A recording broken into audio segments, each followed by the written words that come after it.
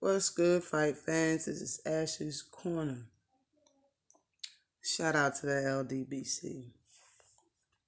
Now I come to talk about this fight that's supposed to happen December 28th on Showtime in Atlanta, Georgia. I think it's a good fight. You know, everybody, um, a lot of people are saying that, you know, this isn't a good fight for Gervonta Davis. Um, what I can say about it is that out of all the things that people complain about, know, I'm a big Gervonta Davis fan. I make, I make videos. I go to other people's videos and be in the comment section. I hear and know what people are saying about Gervonta Davis, and what they're saying is, is that he only fights Mexicans. He don't fight nobody that has uh, speed, nobody that has power. Um, he always fights somebody coming up from 126. These are the things that he fights bums. These are the things that people are saying. Um, my opinion, Gamboa is none of those things. He's Cuban. He's not moving up from 126 right now. He's there hasn't been, you know what I mean? When he fought Terrence Crawford, he wasn't fighting at 126. That fight wasn't at 126. Okay? He's not moving up. He's he's Cuban. He's um he does have speed and the man does have power. You can't call this mug a bum. People the people are saying this is a bad fight. Other people are saying it's a bad fight strictly on Gamboa's age. Strictly that he's 20 that he's 37 years old. Other people are saying yes, combination of him being 37 and him losing and um, to somebody he wasn't supposed to lose to. I believe the guy had 12 losses at the time that he lost to. Only had two losses. He's been stopped both of the times that he lost, but it was Terrence Crawford and I believe uh, um Robinson Castellanos, I believe his name was. Yeah, he wasn't supposed to lose to him. It was an upset, and you know everybody wrote him off. He was disowned after that. Um, I just don't agree with it. Uh, I believe that everybody has a bad day, and when he fought Bud Crawford, I'm not going to call that a bad day. That was a good fight. Why was it fight of the year then? It was a good fight. He lost. He didn't lose to a bum. He lost to Terrence Crawford. The only bum that people say he lost to was Cost was uh Robinson. That was the bum that he lost to. He only lost two fights, man. People, you really got to think about this. And the weight class that he just got to 135. He just got there. But um, I'm gonna go ahead and talk about the specs real quick. I'm gonna uh, start with Gervonta Davis. Tank is 22 and 0 with 21 knockouts. He's fought for a small 67 rounds. Um, his knockout rating is the same of Deontay Wilder's, which is 95.45%. He's 24 years old. He is a southpaw. He's five five and a half with a 67 and a half inch reach. Gamboa, on the other hand, has 30 wins, two losses, 18 knockouts. Um, both both of his losses was a KO loss. Well, the first loss was by uh, Terrence Crawford via TKO in the ninth round. That happened in 2014, five years ago. And in 2013, 2017, two years ago, that's when he lost to Robinson Castellanos um, via RTD, retired on a stool, basically, in the seventh round. Okay. He's fought for 100 and, 195 rounds. His knockout rating is 56.25%. He's 37 years old with a birthday. His birthday's the 23rd of December. Okay five days before the fight. Y'all talk about Gervonta Davis um, making weight after Christmas. Let's see if he can make weight after Christmas, after his birthday. And I'm just saying. He's also five five and a half, same height as Gervonta Davis, but he has a 65 inch reach, which is two and a half inches shorter than Gervonta Davis. Okay. He won his uh his last four fights. Um, Gamboa won his last four fights, and he's coming off of a second round KO knockout, straight knockout of Roman Rocky Martinez. Now, um, Gamboa is a 2004 Olympic gold medalist for Cuba. Okay, and he was considered the rising star in the sport before he lost to Terrence Crawford in 2014. Okay, now he lost his momentum after that fight, you know, and he wasn't. He fought one time the year after that, and then he took like two years off and he came back fighting again. Um, I think Gamboa knows what's at stake during this during this fight, and it seems like an elimination fight um, to fight the champion, I believe, is Lomachenko. So he knows what's at stake. He is an older guy. And um, I believe when Gervonta Davis was a teenager, when he was like 16, he sparred Gamboa. Um, he said it was good work, man. It was, it, you know, Gamboa was big to him because at 16, Gervonta Davis had no problem making 120, 130 pounds. He was, he was a small guy at 16 years old. And Gamboa at that time with Gervonta Davis was 16, you know, he was a rising star. He did not fight uh Crawford yet, but he was going to. He was he was gonna. You know what I'm saying? And it was said that Gervonta Davis did hold his own against Gamboa at that age. He knows what's at stake, you know. And I believe he um he will be more of a challenge for Gervonta Davis than people are putting it out to be. He's uh, putting it out he's going to be more of a challenge than all the other people he's fought. Um, now, I won't say every single person he fought. I still think Gervonta Davis' best show in fighting was um, Jose Pedraza.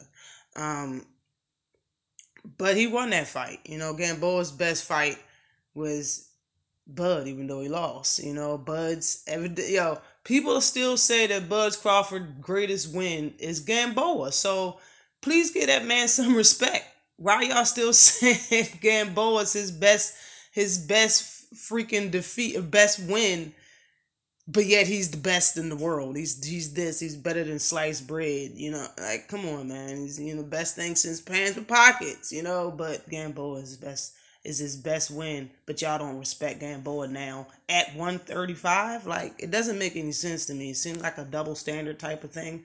Everybody knew that Gervonta Davis was going to fight Gamboa since last year, yo. What's the problem? I don't see what the problem is, yo. I understand there's a lot of big fights going on, and Gervonta Davis fighting Gamboa, but it's a different step. It's a different look. It's something different than what he's been doing I think y'all should show the fight a little bit more respect because it might be a good one. Who knows? I mean, but I've already asked myself these questions. You got to ask yourself, why was Gamboa versus Bud the fight of the year? Why? Okay. Didn't he give Bud problems in that fight? Ask yourself. Didn't he show he can box by making Bud look the way he looked in the beginning of that fight? Ask yourself for that. Didn't he show us he has power by making Bud do the stinky leg during that fight?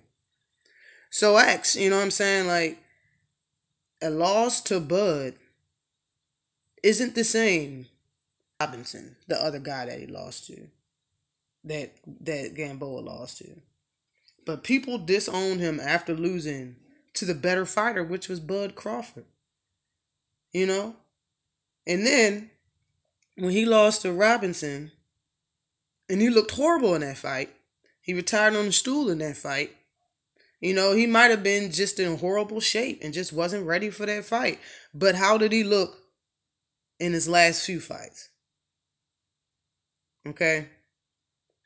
But he looked really, really good in his last fight. He looked good in his last fight, even though it was against Rocky Martinez. I seen speed, I seen accuracy, and he looked very powerful still to this day. He still looked powerful. Now this is boxing. All right? I know y'all seen in the streets a 22 year old get knocked out by, by a 40 year old. Let's not let's not get it twisted. All right. The man still has accuracy, still has speed, he still has punching power. The man's still dangerous. His feet ain't slow. He kept up with Bud, didn't he? He's small as hell and he kept up with Bud in the first few rounds. His feet ain't slow, and I understand he's not the same fighter that he was when he fought Bud. But he's not the same fighter that he was when he fought Rob, Robinson Castellano either. He's better than that. He's probably not as good as he was when he fought Bud, but he's way better th- than he was when he fought Robinson. This is just my opinion. I honestly think this is going to be an exciting fight. I don't think it's going to be a two round fight and he's going to get Gamboa out of there quickly. I'm giving this fight seven to eight rounds stoppage with Gervonta Davis winning. If this fight goes 12, which I don't think it will, I still have Gervonta Davis winning. I think it's a seven to eight, eight round fight um, because uh, um, I honestly think, I honestly think, you know, uh, Gamboa, I'm not gonna call him Chinny. I'm not gonna call him Chinny, but I don't think he has a better chin than Gervonta Davis. You know, I just don't. You know, and uh, when you look at Gamboa's record, one thing he does do is fall a lot. He slips and falls a lot. Okay, he uh he gets knocked down. And another thing I've noticed when I looked at his record and the people that he fought, that he really like does some shit. He does some dirty shit. He does things to get points deducted almost every fight. Not, I mean, well, how many fights he got? I think he has like 30 fights. Out of the 30 fights, he did things to get points taken off probably about, I wouldn't say, 50, probably about 10 of his fights. 12 of his 12 of his fights he did something to get points taken away hopefully that won't be the case in this fight um uh, I believe uh, Gervonta Davis can pick Gamboa off from the outside. Um, I think this is an inside fight for Gamboa. He's gonna want to get on the inside. Um, he, he's just like I said, he still has his speed. I believe Gervonta Davis might be a tad faster than him, but um, he still has his speed, and the man is still powerful. He still got power, yo. He might have been slow when he fought um Cass uh, when he fought Robinson. That's why he looked so horrible. But he wasn't show he wasn't slow when he fought Martinez. His last fight he was not slow, and the fight before that he was not slow.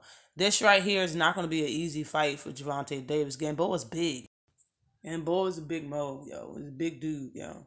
And um, I don't know. Maybe you guys can correct me if I'm wrong, but I don't think Gervonta did. Yeah, he did fight a Cuban. I think he did fight one Cuban fighter, but he wasn't on the same level as as uh Gamboa is. I mean, we're gonna see. You know, they're the same height. They kind of built the same way. You know, but don't be surprised if Gamboa looks a lot bigger than Tank in this ring. Don't be surprised. But I'm very, very ecstatic. I'm very excited for this fight. I'm very excited to see how Gervonta Davis look at 135. See if he's still as fast and see if that power went up a level, went up a couple notches since he's gained uh, that five pounds. I expect this fight to look a lot like, um, look similar to when Gervonta Davis got that WBA title at 130 when he fought, I believe, Jesus Cuellar, Cuellar or whatever, Cellular. when he fought him, I think that this fight is going to look a lot like that. For the first round, you see how Gervonta Davis was just staying away and whatnot. That's how the first four rounds of this fight going to be against Gamboa because I expect Gamboa to try to get go out there and put his best foot forward in the first four, three to four rounds. He's gonna put his best foot forward, and I believe Gervonta Davis should be using a lot of feints. Man, he doesn't really use feints that much. When he does, they work. In this fight, I think when he if he feints Gamboa, he's gonna bite. Okay, and he can counter off Gamboa easily. So I honestly think he should chill you know, be on the defensive for the first two or three rounds for sure. Open up, you know, uh, for the third round and finish the fight out like he finished Qu- uh, Quasar or Cellular, whatever his name is, that he got that WBA title um, from uh, at at 130 that he just relinquished that title.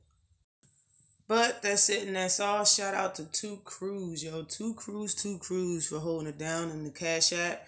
If anybody would like to donate to the channel, to help the channel grow, my Cash App, link to the Cash App will be in the description below. Always like and subscribe to the channel. Let me know what you think about this fight. What's your thoughts on this fight?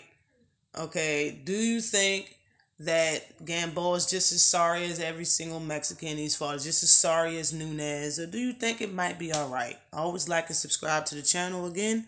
Peace.